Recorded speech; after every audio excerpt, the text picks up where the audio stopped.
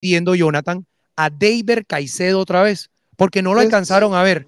Quieren entender Rafa o quieren ver. Rafa Pérez, a ver, Rafa Pérez, sáqueme el plano, por favor. Eh, bueno, primero un saludo para, para todos y nada, nada, contento porque estamos en esa recta final con mucha calma, con mucho entusiasmo y, y- y nada, dándole, dándole fuerza. ¿No te están apresurando? Es decir, ¿los trabajos van planificados o se ha, prema- ha sido prematura tu recuperación? No, no, estamos en los tiempos y respetando los tiempos iniciales de, de- de mi lesión. eh, y nada, estamos eh, tranquilos, eh, llevando el, el- el plan que se tiene que, que llevar y obviamente que, que depende también de, de- de cómo, cómo lo he afrontado yo. Recuérdame esos tiempos, esos tiempos de los que me hablan, cuándo son, cómo se está calculando. Bueno, mi lesión este, es, es dependiendo de evolución, siempre fue así, fue una lesión compleja, hoy a, a día de hoy llevamos un poco más de cuatro meses y esperemos que, que nada, eh, que dependiendo de esa evolución nos vaya marcando el, el regreso. Ahora estamos en esa recta final y, y- y de aquí en adelante es, es mirar el día a día. Ahora es cuando mejor debes cuidarte para terminar una buena recuperación. Sí, la verdad que bueno, desde, desde mi, mi lesión eh, siempre, siempre hemos tenido la, la- la disciplina, siempre hemos tenido la mentalidad de, de- darle con todo, siempre lo manifesté después de, de- de ese, de ese momento eh, que, le- que me iba a comprometer aún más eh, por, por todo lo que por toda la fuerza que había hecho la junta directiva por, por tenerme acá. Desafortunadamente vivimos eh, esa lesión eh, iniciando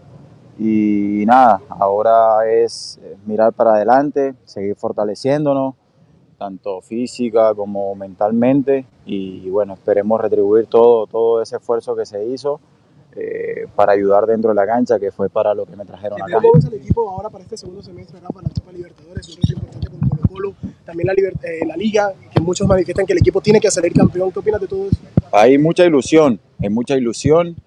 eh, el equipo está bien, la verdad que, que, que has hecho una buena eh, Copa Libertadores y ese ha sido el objetivo principal, tratar de, de- de seguir eh, avanzando. Eh, y hay que tener los pies sobre la tierra. Sabemos que es, un, eh, es una competición bastante, bastante compleja, bastante difícil, donde, donde están los mejores del, continente. Eh, y en cuanto a la liga, sí, Junior siempre tiene que, que aspirar a salir campeón. Obviamente que tiene que ser con mucho trabajo.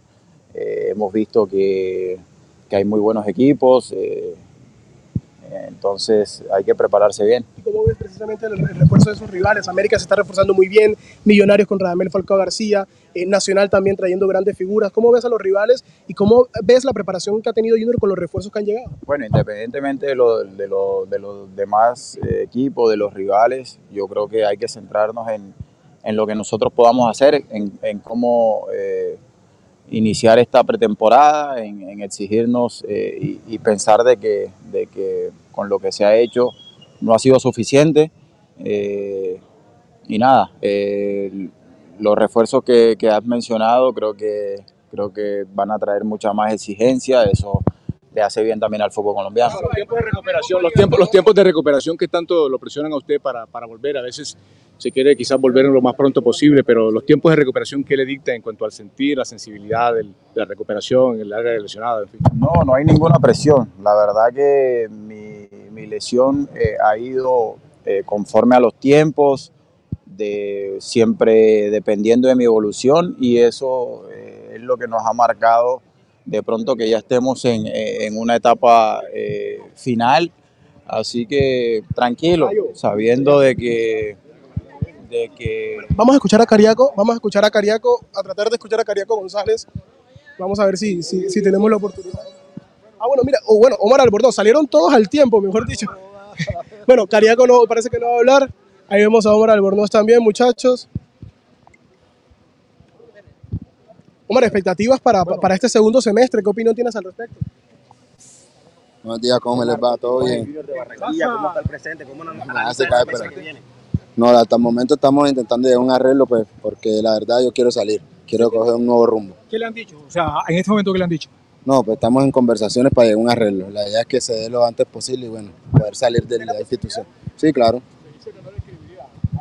Sí, no, es que yo tampoco quiero seguir en el club pues, porque quiero una nueva oportunidad de volver a jugar. ¿Y otro equipo ve la posibilidad que usted llegue? No, hasta el momento no. Primero tengo que solucionar el tema junior. ¿Cuándo soluciona eso? Ojalá y sea lo antes posible. ¿Cómo califica su paso por el equipo? No, no lo considero fracaso.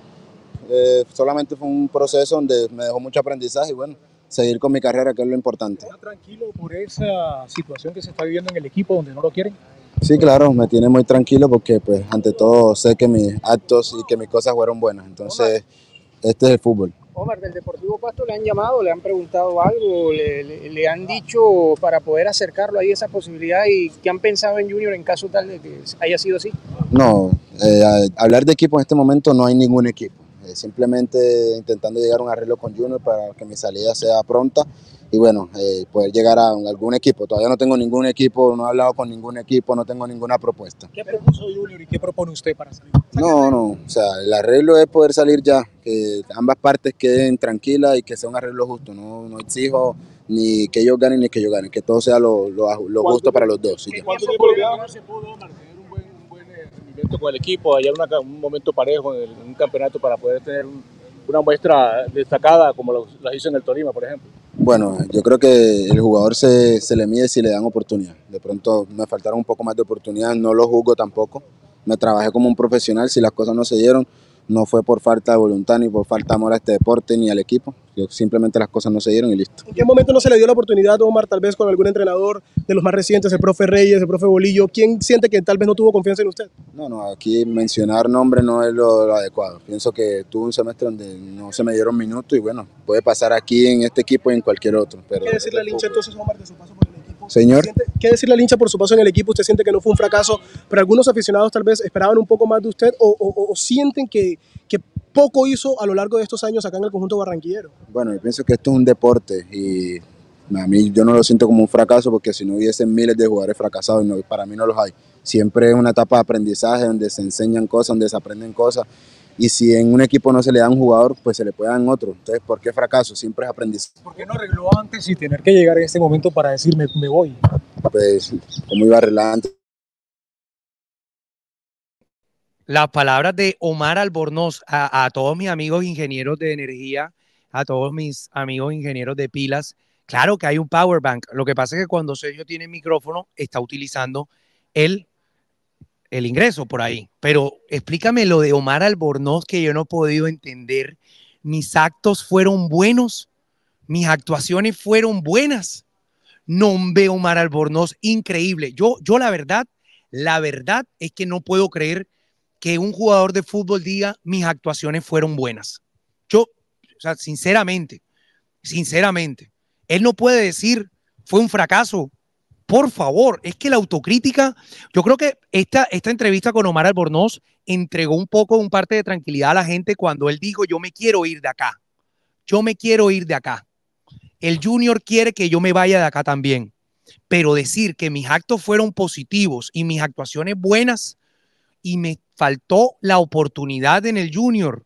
No, a mí me parece un descaro total y ojalá Omar Albornoz se vaya del junior y quede como un mal recuerdo, como un mal recuerdo, porque es que eh, ni para eso decir que se equivocó. Yo no lo puedo creer. ¿Sabe qué? Eso es un descaro total. ¿Cómo así que oportunidades? Lo llevaron hasta el último partido de la Copa Libertadores en Brasil, lo llevaron, jugó contra Botafogo, jugó también los otros partidos el año pasado y el año antepasado.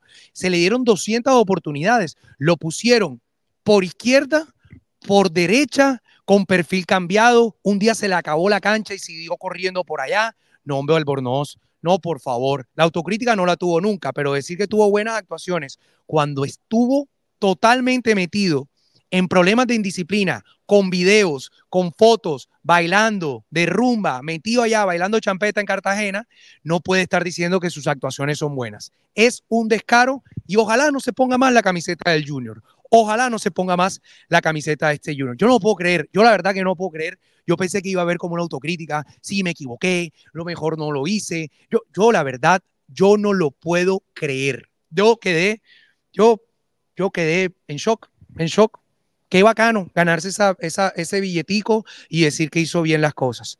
Increíble. ¿Con qué cara fue a decirle a la gente eso? Hombre, Jonathan, yo te voy a pedir, mi amigo, por favor, búscate ese clipcito para indignarnos otra vez por una segunda vez, porque es que yo no puedo creer que este señor haya dicho eso. Yo no lo puedo creer. Yo, yo, yo aquí no lo puedo creer. Hombre, si usted tuvo una mala etapa, dígala. Dígala que la pasó mal. Pero para ser jugador de fútbol es un excelente actor. La, verdad. Para ser un jugador de fútbol es un excelente actor. Sabe declarar, ¿ah? Sabe. Sí, por favor. No, no quiero dar nombres, pero no se me dio la oportunidad. Bueno, padre, tuviste a Arturo Reyes, al Bolillo Gómez, a Juan Cruz Real, a Arturo Reyes otra vez. ¿Cómo así? Dios mío santo. ¿Usted sabe por qué yo no voy a hacer ruedas de prensa y ese tipo de, de, entrevistas? Porque yo enseguida voy y contrapregunto y le digo, ¿cómo así que sus actuaciones son buenas? Y se forma un rifirrafe. Yo por eso, Sergio Vargas, allá mejor, mejor allá donde está la verdad, pero yo no lo puedo creer, no lo puedo creer. Tiene la entrevista de David Caicedo, mi querido Jonathan, porque la gente me está pidiendo la entrevista con el jugador que a mí me dio la sensación que se va a quedar en el Junior, especialmente para los que no saben que duró tres horas allá metido. Tres horas duró metido en las oficinas del Junior y para mí se va a quedar. Después, después, después. Ahora, ahora no. ¿Cómo va todo, No, no, no, no lo sé. No lo sé, no lo sé. Ahora toca hacer una buena pretemporada, no lo sé. pero la gente quiere saber si está, quiere quedar en Junior. No sé, no sé. No sé, no sé. No sé la verdad. No sé, no sé. Quiere quedarse Junior, quiere quedarse Junior. ¿Qué papel juega usted, David, en esta situación? ¿De qué depende? No, de, ¿Le puede aportar algo su petición? Sí, yo ya, yo ya di mi palabra. Ya. ¿Su palabra Junior? Sí, yo ya le di a ellos, ya, ellos ya saben lo que yo quiero, pero al final no depende solo de mí. ¿Qué es lo que usted quiere? No, ellos ya lo saben, no puedo decir más. Hay oferta a otro equipo en Colombia, eso se dice también. No lo sé, no, te, no tengo. La verdad. ¿Qué busca Re, Recién vuelvo de vacaciones, estaba sin internet.